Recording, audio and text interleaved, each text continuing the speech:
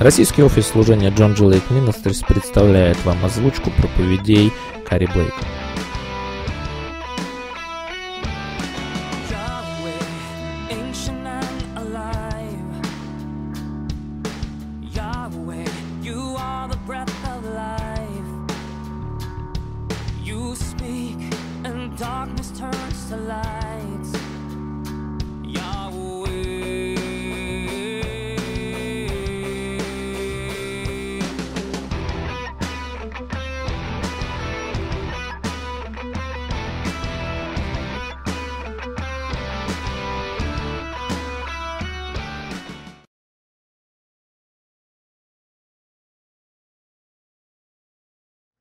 В церковных служениях много раз, когда я провожу служение исцеления, я не знаю, что у человека.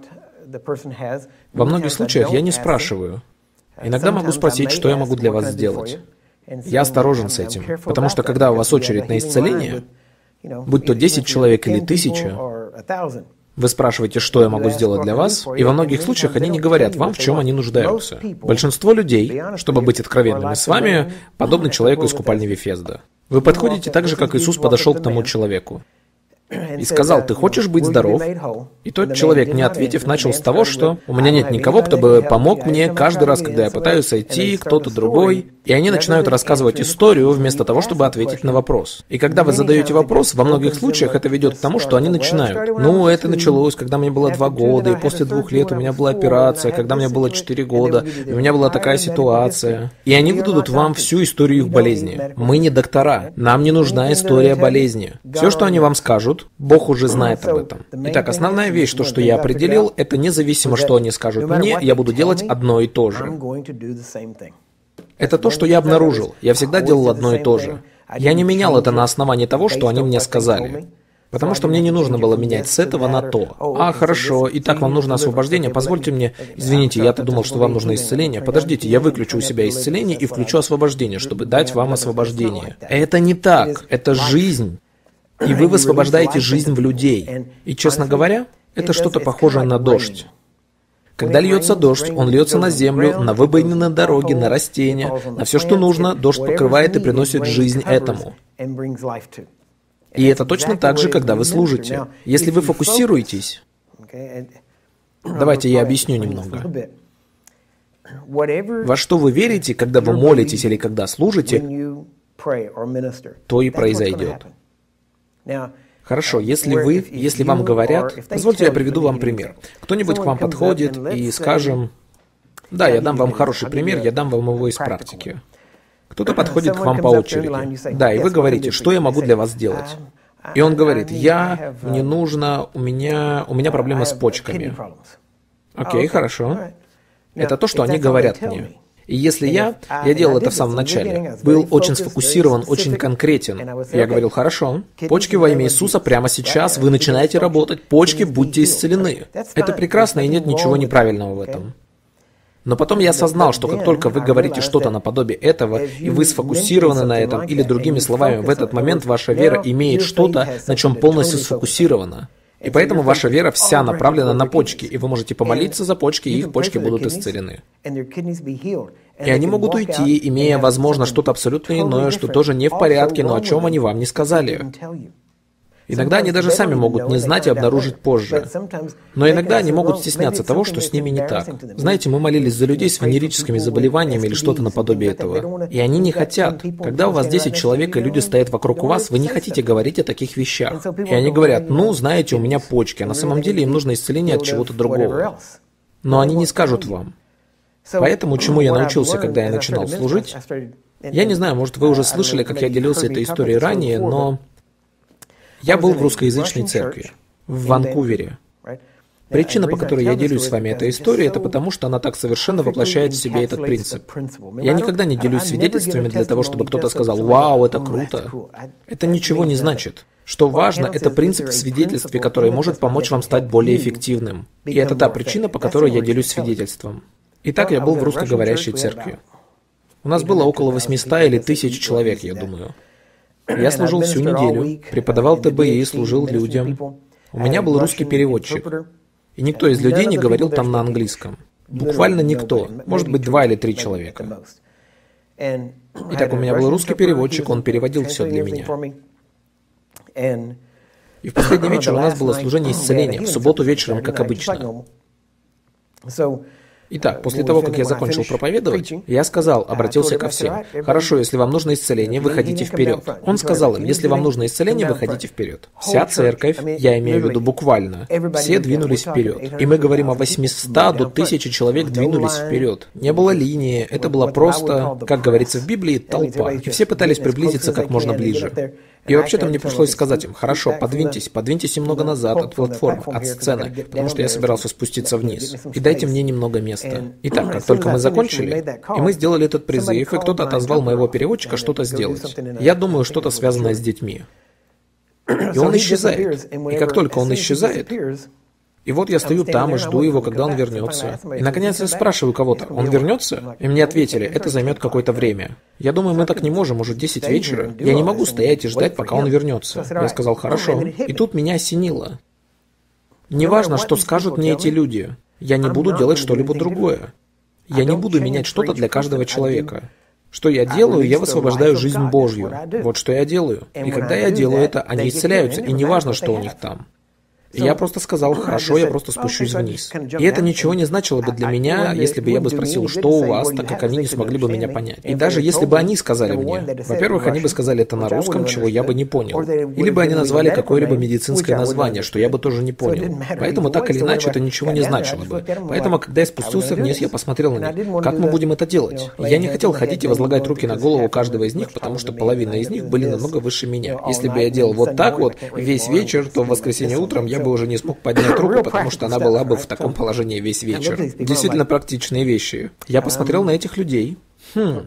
После этого я сказал им, держите руки вот так. И это то, что они сделали. Они вытянули руки вот так, как я показал им. Я сказал им, теперь переверните руки, потому что я хотел взять их вот так со стороны. И я им сказал, переверните руки. И иногда нужно было прямо заставить их перевернуть руки, так как если вы отпускаете их, они снова переворачивают их обратно. И говорит, держите вот так, как я показал вам. И вот так все происходило. Итак, они переворачивают руки, я беру их вот так вот за руки. Во имя Иисуса Христа прямо сейчас жизнь. Я освобождаю вас во имя Иисуса. С головы до пят будьте исцелены сейчас. Отпускаю и перехожу к следующему человеку. Я не просто повторял это, но по существу я говорил то же самое каждому человеку. Просто проходил жизнь, жизнь, будьте исцелены с головы до пят, потому что это не формула, а это то, что вы делаете. Итак, я прошел от 800 до 1000 человек, послужил всем, я прошел каждого.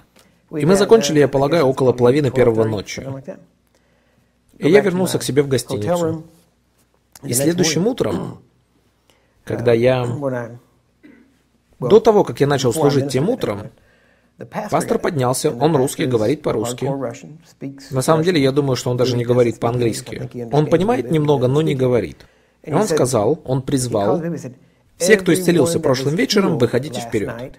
Мы хотим, чтобы вы засвидетельствовали. Мы хотим, чтобы сначала прозвучали свидетельства. Сначала мы благословили группу детей, и затем они свидетельствовали. И когда он сказал это, буквально он сказал, если вы были исцелены вчера вечером, выходите вперед, поделитесь свидетельством. Это выглядело так, как будто бы вся церковь двинулась вперед. И он сказал, нет, нет, нет, стойте, стойте. Не если за вас молились, а если вы были исцелены. Только если вы были исцелены. И все остановились. Да, да. И снова пошли вперед. Буквально это было одно из самых массовых персональных служений исцеление, которое я проводил к тому времени. Это было несколько лет назад, когда я молился сам за раз.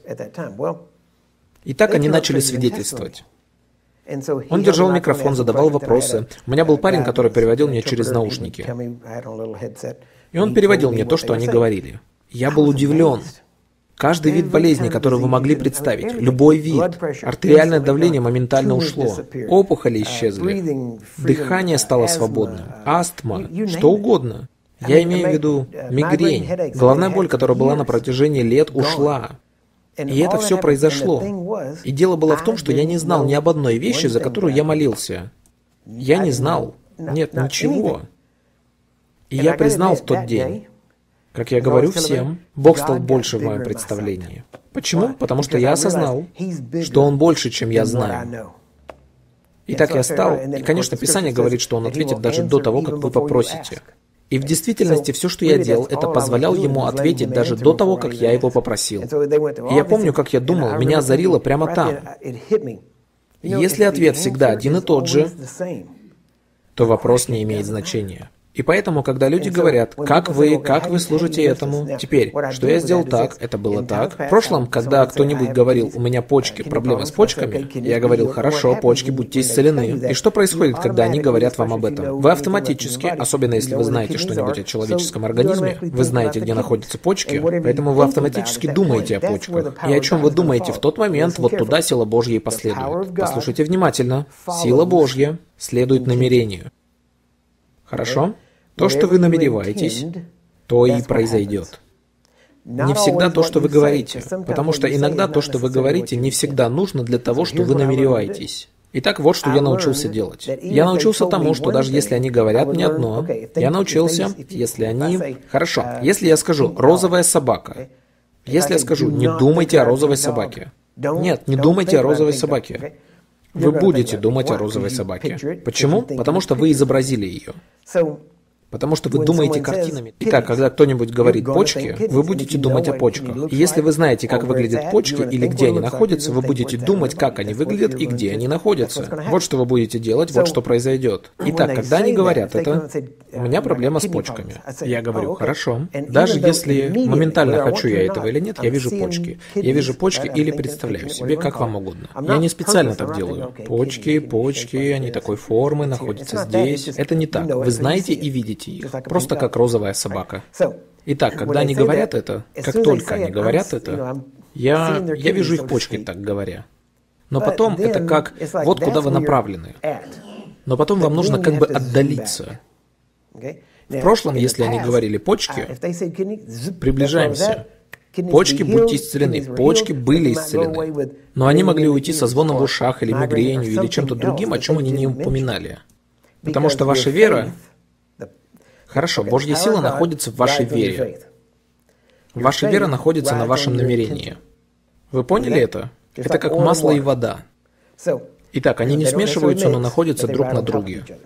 Итак, куда вы направите, куда вы направите ваше намерение, не ваше внимание, хотя они могут работать вместе, но куда вы направите ваше намерение, ваша вера последует за ней. А куда идет вера, сила идет за ней. Так, вы поняли это? Итак, как только они говорят почки, хорошо, я буду видеть почки, но я не хочу оставаться там. Я хочу поразить это и хочу увеличить зону поражения. Чтобы это было так, почки, вы функционируете правильно во имя Иисуса. Теперь смотрите, следующее, что я говорю, вы будьте исцелены с головы до пят. Но у меня ведь только почки. Ну, почки это то, что вы знаете, то, что вы мне говорите. Но если я говорю с головы до пят, то мое намерение для вас, чтобы вы вышли отсюда исцеленными. Полностью, не частично. Итак, моя вера управляет моим намерением. А сила Божья управляет моей верой. И по этой причине, когда, как только я приказываю почкам, я увеличиваю зону поражения, как когда вы изменяете масштаб изображения.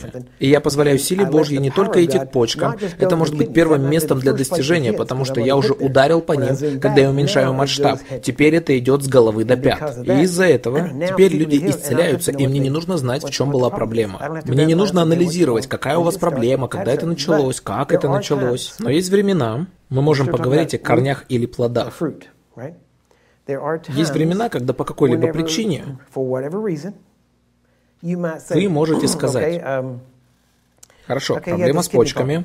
Так, у вас проблема с почками. Иногда вы можете uh, сказать, так, проблема с почками. Почки во имя Иисуса, будьте исцелены, будьте исцелены с головы до пят. Следующий человек. Какая у вас проблема? У меня проблема с почками. Uh, Хорошо, проблема с почками. Как давно это началось? Вы можете спросить, почему я спросил это у этого человека, а у того нет? Я не знаю.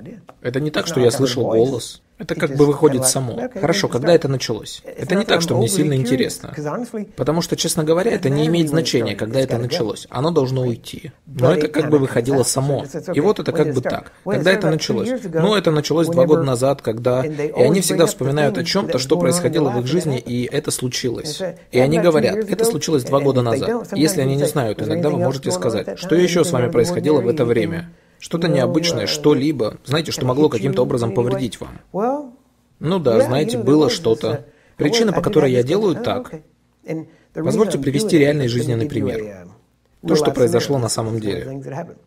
Была женщина на инвалидной коляске. Это было в Нормальной, в штате Иллинойс. Название города – Нормальный. Если вам приходится называть город Нормальный, то что это значит? Вы ненормальный, не правда ли? И это означает, там должно быть много аномалий, если вам приходится делать ударение на том, насколько вы нормальный. В любом случае. Итак, мы в городе нормальный Иллинойс, в церкви с реально высокой платформой, битком забитый зал, и там была леди, которая была директором в штате Иллинойс в то время, и она там помогала с собраниями, мы проводили ТБИ. Они провезли одну леди на служение исцеления в тот вечер. Эта леди не участвовала ни в каких обучениях, она приехала прямо на служение исцеления. Когда они привезли ее, она была на инвалидном кресле. Ее привезли прямо на первый ряд, потому что, как я сказал, она была в инвалидной коляске. И когда пришло время для служения, я проповедовал немного. Итак, я спустился, встал перед ней и сказал, «Хорошо, какая у вас история? Что с вами не так?» Просто я старался быть вежливым. Ну, семь лет назад я попал в автомобильную аварию. Все было прекрасно, все было хорошо. Но после той аварии, через 2-3 дня, я не могла, я не могла больше ходить. Я была парализована, и я в этом кресле с тех пор. Хорошо. Я слушаю, и так, я начал спрашивать, хорошо, когда это случилось? Я спросил ее просто пару вопросов. Почему? Я слушаю конкретные вещи. Это похоже на то, как доктор спрашивает об этом для чего-то. Есть определенные симптомы, которые вы ищете. И многое из этого я могу вам сказать. 10% тому, чему я учу вас, я научился в смысле исследований, обучения, чтения Библии и такого рода вещей. 90% это было то, когда я взял эти 10%, и я пошел и делал это, и научился остальным 90%.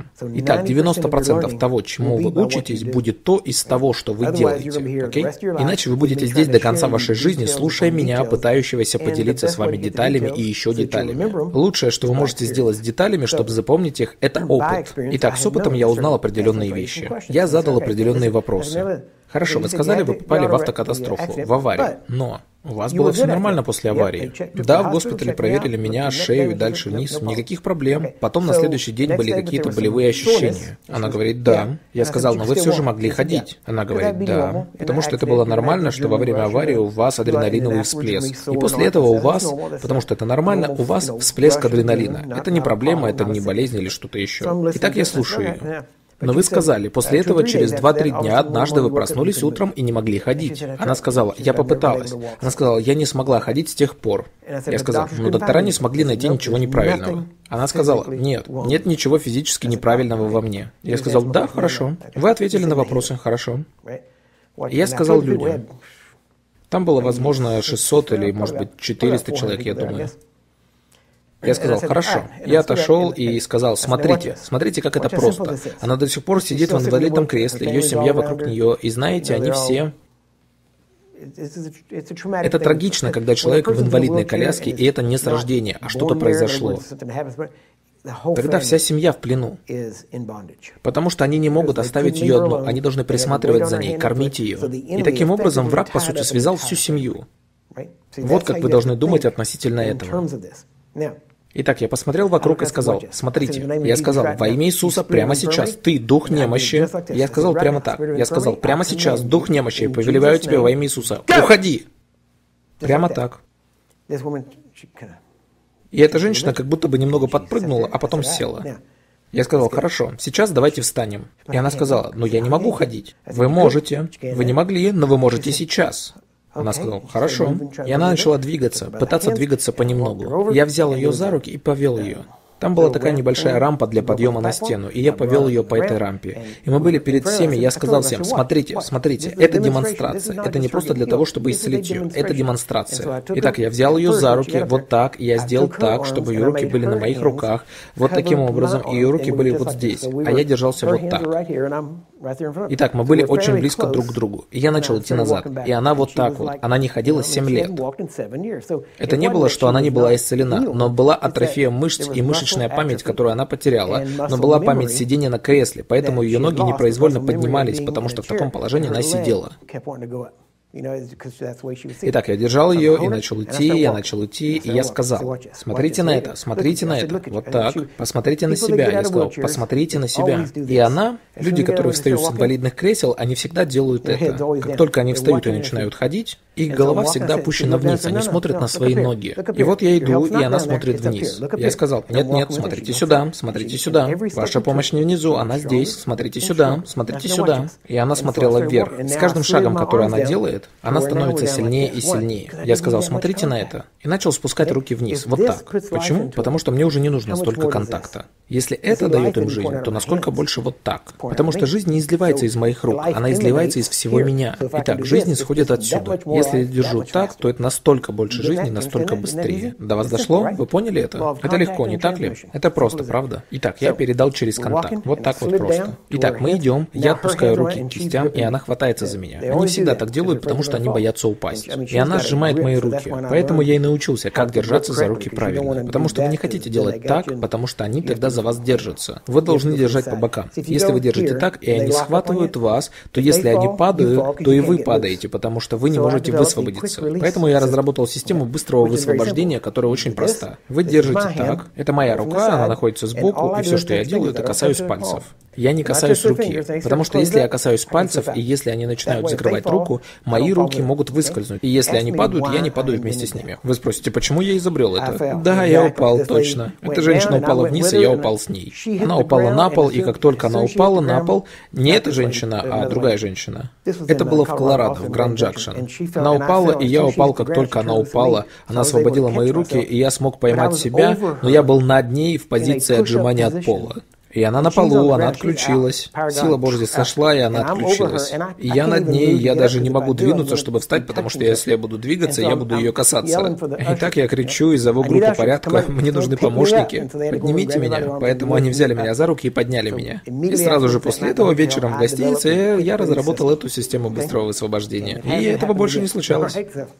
Вы не найдете эти вещи в книге. Их еще там нет. Я не написал, но я напишу. Ну ладно. Итак, я иду, ее руки здесь, и она пытается ухватиться за меня, поэтому я говорю, нет, нет, нет. И каждый раз, когда она пытается ухватиться, я заставляю ее отпустить. Я просто держал ее руки вот так, и мы идем. И мы ходим взад-вперед.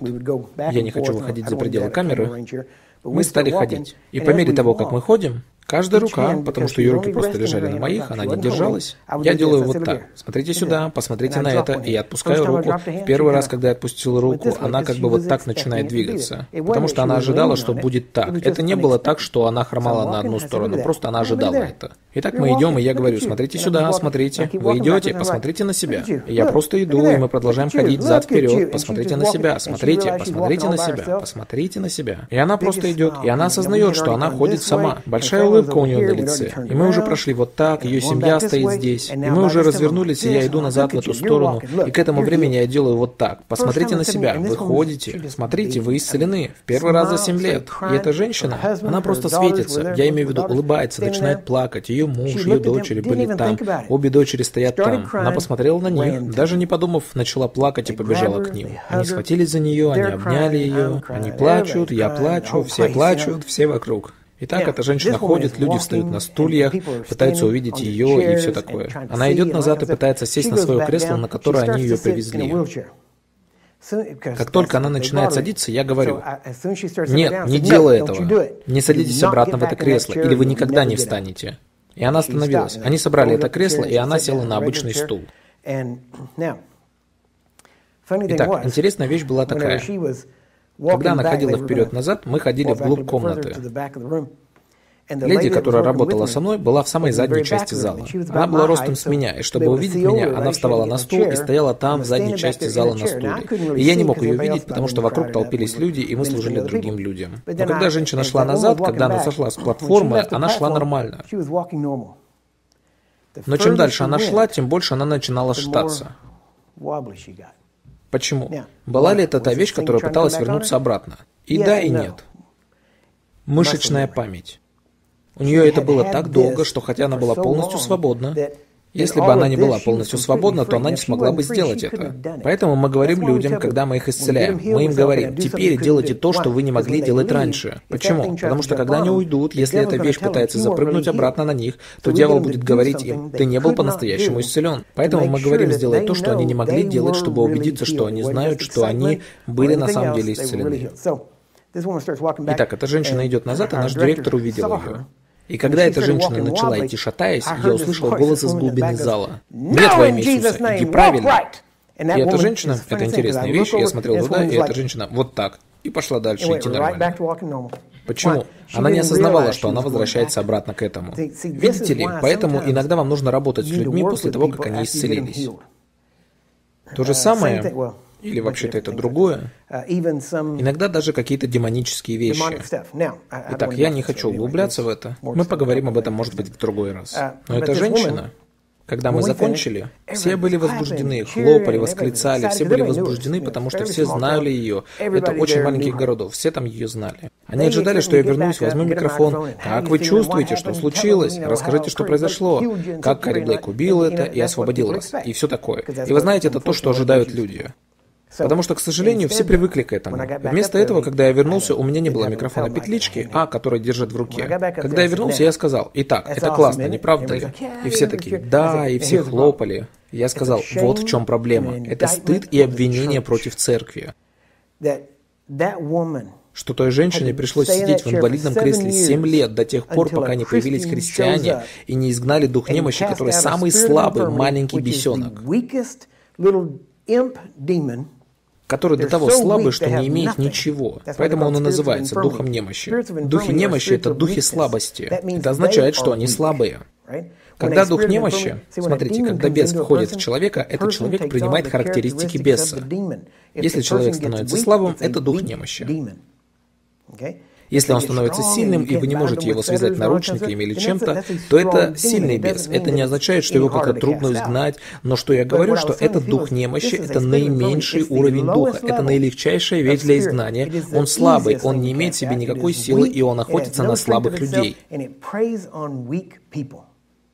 И я сказал, любой христианин, любой человек в этом зале должен был, мог изгнать этого беса, этого духа немощи. Но этой женщине пришлось ждать 7 лет для того, чтобы я появился. Я сказал, это стыд, и это даже обвинение против церкви. Они думали, что я выйду и скажу, не классно ли это, не круто ли это? Это потому, что я такой помазанный. Нет, это потому, что никто другой не подошел и не сделал это. Вот это мы пытались донести до всех. Это не трудно. Но вам нужно таки сделать шаг вперед. Итак, мы сделали на этом особое ударение. Теперь, был ли я заинтересован? Заметьте некоторые ключевые моменты здесь. Когда я uh, спросил эту женщину, я узнал некоторые детали. Что случилось?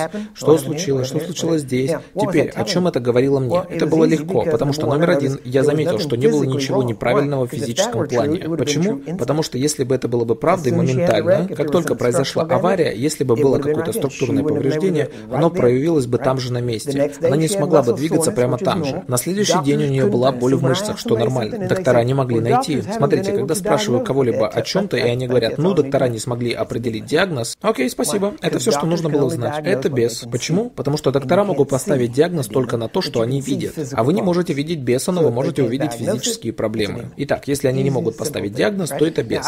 Самая легкая, самая простая вещь. Итак, я не просто следую этому, но это, если они говорят так, то этого достаточно. Мне не нужно ничего больше. Поэтому я слушаю. Итак, я задал ей достаточно вопросов в тот момент, просто для того, чтобы выяснить, что это было. Нужно ли ей исцеление? Нужно ли ей освобождение? Нет, ей нужно было освобождение. Затем ей нужно было, чтобы кто-нибудь поработал с ней, чтобы ее мышечная память и ее атрофия ушли из нее для того, чтобы у нее появились силы. И она получала силу и жизнь во время того, когда я ходил с ней и давал ей силы, когда ходил с ней.